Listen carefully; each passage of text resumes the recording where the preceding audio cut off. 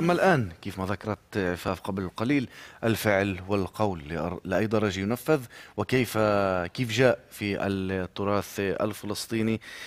دكتور رضا غبرية المحاضر والأكاديمي والباحث في اللغة العربية صباح الخير لحضرتك. صباح الخيرات أهلا وسهلا فيك. شفتك جالس معنا و... وعم بتضحك من مع, مع أخبار وائل. نعم لأنه من الصعب تعليقات من الصعب حقيقة يعني دائما هناك بون شاسع بين الفعل وبين القول فحبذا لو هذا البون شوي آه، عمل جسر بيناتنا وقربناهن على بعضهن لأنه نعم. صعب جدا اليوم في أيامنا حتى في الناحية السياسية حتى في الناحية الاجتماعية يكون آه، أفعالنا مطابقة آه، لأقوالنا ممكن هذا سبب مباشر لسوء تربية لسوء قدوة ل لمجتمع اللي تنقص القدوة الصالحة اللي فعلا أفعالها تطابق أقوالها. مش زي ما قالوا بالمثل خذ من أفعالي ودشر أقوالي.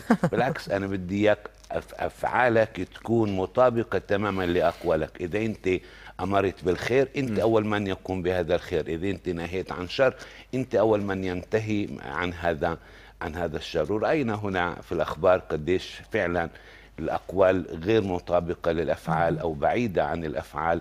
أقوال شكل وأفعال شكل. والأخبار الأولى كان إنه في البداية كانت الأفعال خفية. اليوم الأقوال مطابقة للأفعال الظاهرة علنية بالنسبة للعنصرية بالنسبة لهضم حقوق الشعب الفلسطيني سواء في الداخل سواء في في الضفه والقطاع يعني أشكر خبر. قبل كان شوي خفي. اليوم علنا إحنا آه، آه، بشكل عنصري ظاهر يعني للعيان بدون أي حياة وبدون أي بدون أي ذوق. لأن ننتقل للمثل الفلسطيني اللي بيحكي لي النص نص علماء والفعل فعل شياطين. كثير هذا المثل دارج على ألسنتنا. ينطبق وانت بأي نعم لما نشوف هيك إنسان اللي بتسمع أقواله بتقول واو شو هالعقل هذا؟ شو هالحكم هذه اللي بتب... بتخرج منه؟ ما شاء الله عنه. يعني بقول للقاضي انزل عن الكرسي أنا أقعد بدالك. لكن لما تشوف أنت أعماله شتان ما بين ما قال من أفعال ما قال من أقوال وما ما, ما عنده آه، من أفعال. وهذا بذكرنا بالآية الكريمة. يا أيها الذين آمنوا لما تقولون ما لا تفعلون؟ كبر مقتا عند الله أن تقولوا ما لا تفعلون. هذا هذا هذا يعني شيء بغيض جدا شيء يعني كريه جدا إنه ما يكون قولنا مطابق آه، لفعلنا. مفروض يكون في عندي أنا أنهى عن شيء معين عن شر معين عن صفة معينة كأبو كأم. كمعلم كإنسان آه، كقدوة كسياسي كمدير بالضبط. كمان إذا نعم. منصب بأي منصب أنت كنت مفروض يكون عملك هو القدوة اللي ناخذه منك. ما تقول أنا يا عمي بحكي الشكل وما ما ما ما بهمكم أفعالي بس خذوا من أقوالي. هذا هذا الأمر لا يعني لا يليق بإنسانيتنا لا يليق بمجتمعنا لا يليق بقدوتنا. أنا كقدوة بالذات بالذات اللي عنده مص... اللي عنده منصب تربوي منصب اجتماعي سواء في العائلة صحيح. المصغرة سواء في البلد الكبير سواء في الدولة حتى يعني رأينا رؤساءنا ورأينا الأعضاء ورأينا كل هذه الأمور قديش بيكون في آه، بون شاسع بين الأفعال وبين الأقوال. لذلك الشاعر قال أنت الفتى كل الفتى. حقيقة أنت بتأخذ لقب فتى إذا كان فعلك إذا كان ما تقول هو ما تفعل. هذا هذه الصفة الحقيقية في الإنسان الفتى أن يقول أن يفعل ما يقول. نعم. نعم. طب دكتور يعني واضح أنه هاي الفجوة مثل ما حضرتك عم توصفها بين القول والفعل ممكن كثير مرات تكون سبب لأزمة سبب لسوء تفاهم في الأسر في مناحي أخرى. أمثال أو قصص أخرى اللي تناولت هذا الموضوع شو بتقدر تفيدنا؟ هلا بنرجع بنركز على من آه، هو في منصب تربوي سواء ديني سواء اجتماعي. يعني من من القصص الجميلة اللي آه، تروى عندنا عن هذا المثل النص نص علماء والفعل فعل الشياطين أو قول بلا بلا فعل إنه في عندي آه، طبعا أنا الكلام هنا لا يؤخذ على عواهني. في ناس اللي ما شاء الله بنشربوا مع المي العكري في ناس ما شاء الله بنحطوا على الجرح بطيب. لكن هناك فئة من الناس اللي لهم مناصب دينية مناصب اجتماعية مناصب تربوية اللي ما بيأدوا حقهم الحقيقي كقدوة للمجتمع. على سبيل المثال القصة اللي تروى عن الإمام إمام بلد. فبيطلع آه، على المنبر بيوم الجمعة وبخطب في الناس ويصول ويجول في شرح الآية الكريمة لن تنالوا البر حتى تنفقوا مما تحبون يعني بمعنى أنت بدك تكون بدرجة إيمان عالي أنت بدك تكون محبوب عند رب العالمين أنت لازم تنفق الأشياء اللي أنت بتحبها. ما هذا الشيء أنا ما بديش إياه لو تبرعوا فيه وتصدقوا فيه. إنما أنت بتتصدق وبتتبرع وبتعطي الأشياء الحقيقة إن أنت يعني إلها إلها مكانة خاصة في قلبك. لن تنالوا البر حتى تنفقوا مما تحبون. والإمام يصول ويجول في الخطبة وما شاء الله ويدعم كلامه بالأحاديث وبالآيات. من سمع الخطبة؟ زوجته أم أحمد موجودة هناك في قسم النساء وعم تسمع الخطبة. مبسوطة لجوزها عم بهذه الخطبة. الآن بعد نهاية الخطبة له بالعادة أبو أحمد بفر على الأرامل بفر على المرضى بزورهم بأخذ معه هذا الأمر نص ساعة زمان. بهي النص ساعة زمان أم أحمد بتكون صارت وصل البيت ومحضرت له الغداء. خلال ال 30 سنة ال 40 سنة اللي متجوزين أبو أحمد الإمام كل ما يروح على البيت يوم الجمعة بتكون أم أحمد محضرت له شو هالملوخيات الطبيعيات وشو هالزغاليل المحشية وشو خبز الطابون؟ ما شاء الله إيش بيفتح النفس. وبهذاك اليوم اللي أبو أحمد صار له جال بخطبة لن تنالوا البر حتى تنفقوا مما تحبون. بتحضر له قاعد ولا الباب عندها بدق؟ نعم مين؟ قال لهم والله من مخيم جنين من الأراضي المحتلة الاحتلال عجب فينا وصل لي شهر العيلة عندي ما أكلت ولا شربت وكذا. قالت والله يا خالتي جيت بوقتك. تفضل تعال. حطت له هالزغاليل حطت له هالملوخيات وهالخبزات ما شاء الله لفت لي إياهم بهالزوادي. وتفضل خذ صحتين وعافية لإلك ولعيلتك. روح أبو أحمد من من الزيارات بالبلد عنده. وتخفف هيك. هات يا ام احمد هالغدا. إم احمد مرة نشيطه من من حوايج البيت زبطت له هالغدا وتفضل يا أبو أحمد. فصفن أبو أحمد شو الحكي هذا؟ شو ليش إم احمد الغدا اللي متعودين عليه؟ قلت اسم الله عليك أبو أحمد هذا الأكل قدامك تفضل كل. إم احمد الاكل الأكل اللي إحنا متعودين عليه وينه؟ قالت له اسكت ساكت أبو أحمد. اليوم أنا طبقت لك. خطبتك بحذافيرها. نعم. بالضبط. أنا بعرفك إنك بتحب الزغل وبتحب الملوخية وبتحب الخبز الطابون وبتحب كذا. أنا اليوم تبرعت لك فيه. تماما طبقت لك لن تنالوا قلت ابو أحمد بحب هذا الأكل فأنا بدي أتبرع فيه. وهيك هيك اجى الرجل من مخيم جنين وأعطيته إياه صدقه لله وتطبيقا وصدقات. فصفن فيها أبو أحمد هذيك الصفنة القوية. وبصوت هيك عالي وطفران غضبان. ام أحمد الحكي اللي بحكيه على المنبر هذا للناس مش لإلنا لغيره فمفروض أول أول ما يكون ال ال الهدف والجمهور لنصيحتك ولكلامك أول شيء نفسك أنت. أنت المفروض تطبق هذا العمل اللي أنت قاعد بتأمري الناس فيه أو بتنهى الناس عنه. العيلة الداخلية عندك يعني سيدنا عمر بن الخطاب يروى عنه رضي الله عنه إنه كان لما يصعد المنبر ويؤمر الناس بشيء معين أو ينهاهم عن شيء معين يجمع عيلته ويقول لهم أنا أمرت الناس بكذا وكذا أو نهيت الناس عن كذا وكذا.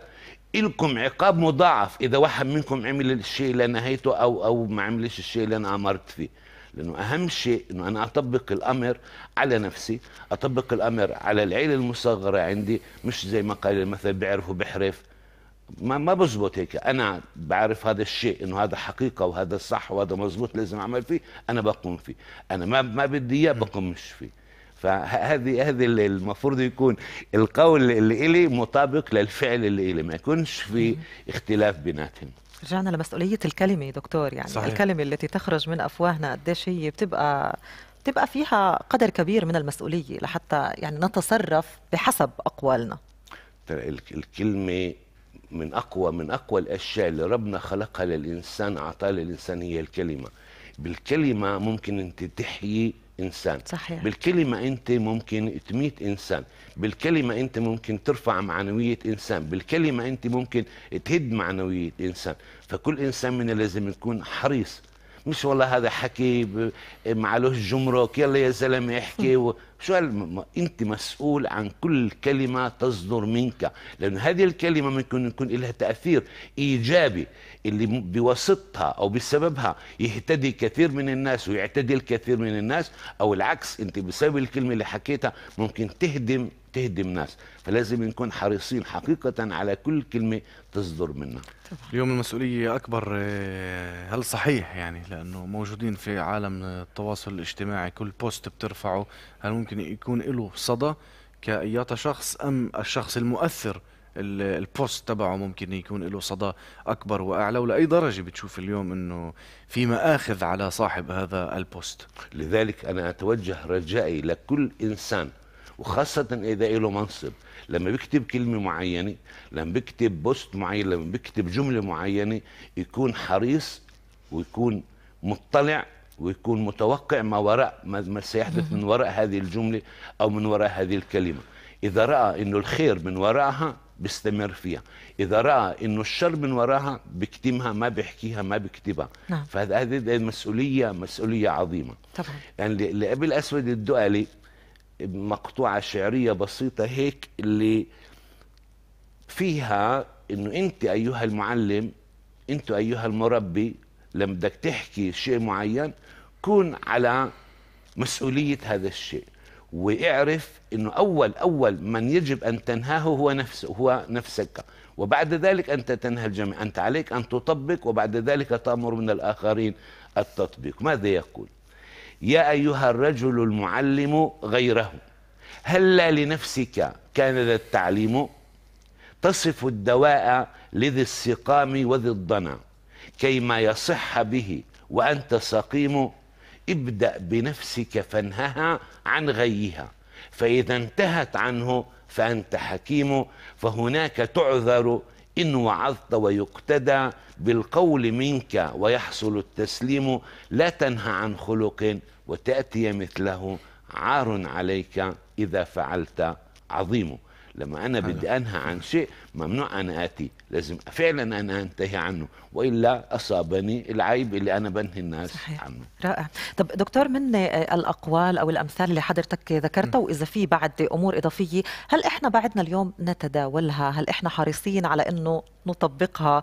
إيه، هل هيك بمجالسنا بعد من الأمثال والأقوال اللي تستخدم كثير في اليوم حديثنا؟ اليوم هذا هذا الحكي لا بطعم بطعمش خبز بمعنى ليش يعني زي ما قال قبل شوية وائل ليش الثرثرة هذه؟ ليش الحكي اللي بين قوسين آسف على الكلمة الفصع الحكي هذا؟ لشو؟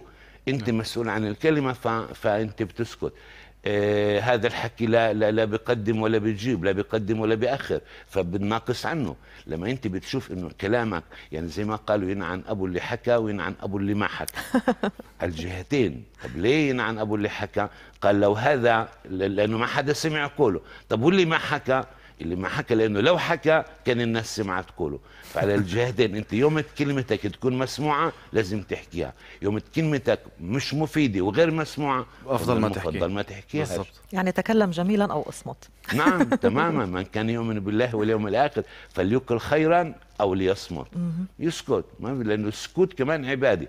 يعني ما كمان السكوت هو كلام هو هو تعبير هو صحيح. هو مفيد في في في في يعني في حالة السكوت بيكون أفضل كثيرا من الكلام صحيح. كثيرا ما ندمت على كلامي ولكن لم أندم على صمتي فمفروض يكون الصمت كمان هذه حكمة الصمت صحيح. حكمة وقليل فاعله صحيح. بالضبط في بعض المواقف هي. فعلا.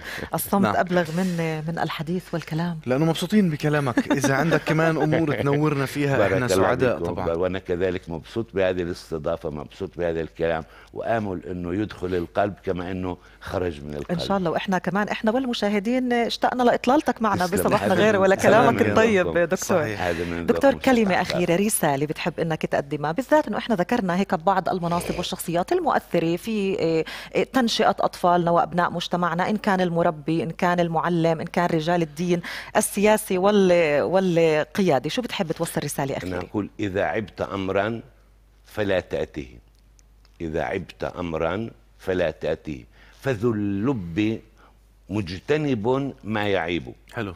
لما أنا إنسان عندي عقل عندي فهم لما أنا بنهى الآخرين عن شيء معين وأعيب هذا الأمر فعلي لازم يطابق هذا القول لازم أجتنب هذا الأمر اللي أنا اللي أنا عبته. فرجائي للأمهات للآباء للمربين لكل إنسان مسؤول عن مجموعة من الناس يكون فعله مطابق لقوله.